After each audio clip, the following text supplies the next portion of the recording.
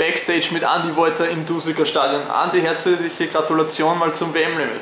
Danke. Wie sieht jetzt ein Abend aus, nachdem man ein WM-Limit gelaufen ist? Was macht man da?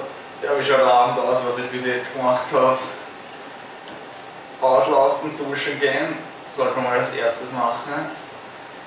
Aber grundsätzlich ist es so, ja, es gibt die Optionen, wenn man ganz gut war, kann man Siegesfeier machen und sich ansaufen, wenn man ganz schlecht war, kann man Frustsaufen gehen. Bei mir ist halt so, meine Leistung war nicht überragend, auch nicht ganz verhaut. Von dem her wird es gar nichts werden, also ich werde mich nur einmal heute in die Federn hauen, vorher gescheit was essen. Dann muss ich weiter trainieren, dass mir das nächste Mal eine von den zwei Optionen offen steht. Ich habe gerade vorher mit Arne Gabius telefoniert. Er hat gesagt, er hätte dich heute locker geschlagen. Wie konntest du diese Antwort?